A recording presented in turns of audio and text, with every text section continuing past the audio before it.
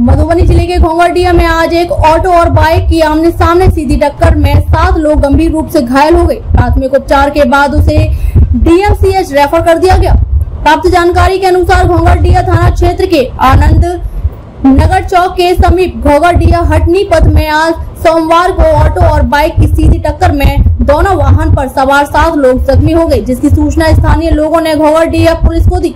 सूचना पर पहुँची थाना पुलिस ने सातों जख्मी को उठाकर इलाज के लिए प्राथमिक स्वास्थ्य केंद्र पहुँचाया। ऑटो पर सवार जख्मी की पहचान पड़ोसी देश नेपाल के बिशनपुर निवासी समीना खातून, उम्र 40 वर्ष, नेपाल के ही कल्याणपुर निवासी रिजवाना खातून, नेपाल के पातो निवासी बतूल खातून एवं असमा खातून के रूप में हुई है।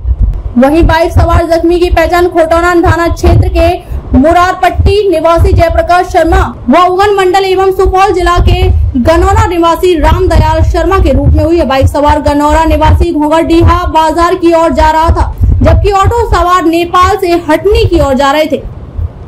अस्पताल पहुँचे ही ड्यूटी पर तैनात चिकित्सक ने सातों का इलाज शुरू कर दिया, जहाँ प्राथमिक उपचार के बाद बेहतर इलाज के लिए सभी को डीएमसीएच रेफर कर दिया गया। थाना अध्यक्ष सर्वेश कुमार झा ने बताया कि ऑटो और बाइक को जब्त कर थाने पर लाया गया है। आवेदन मिलते ही अग्रेतर कार्रवाई की जाएगी। गोहर से चौदह स्तंभ ब्यूरो रिपोर्ट।